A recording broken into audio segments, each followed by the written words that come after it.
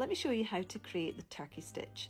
So we're going to come down from the top of the fabric, leaving a tail of thread, and we're going to come up right next to that tail, pull the needle all the way through, and then make a small stitch anchoring that tail in place. Then you're going to bring the needle up just above that small stitch, all the way through, make a loop, and pass the needle back down just next to where you've come up and then come up again to the right of the loop and pass it back down to the left just anchoring that right hand side of the loop in place. Come up just above that small stitch back down on the line. Come up to the right of that half of the loop and back over to anchor it in place.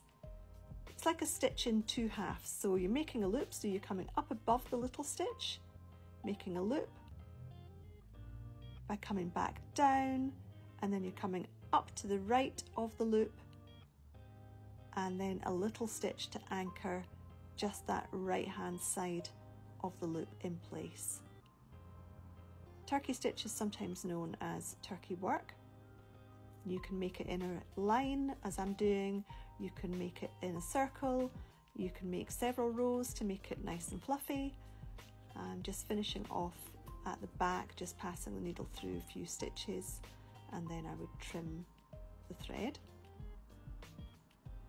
So once you've got your loops, you're going to take a nice sharp pair of scissors. So these are great little Fiskars embroidery scissors and cut through all of those loops and you want to separate the threads. So obviously if you've got more rows of stitching, you're going to have more loops to cut through and it's the whole thing is going to look a bit fluffier.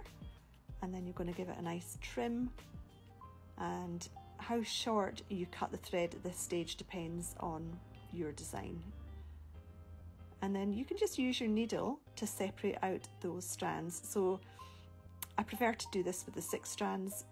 It creates more fluffiness and that's turkey stitch.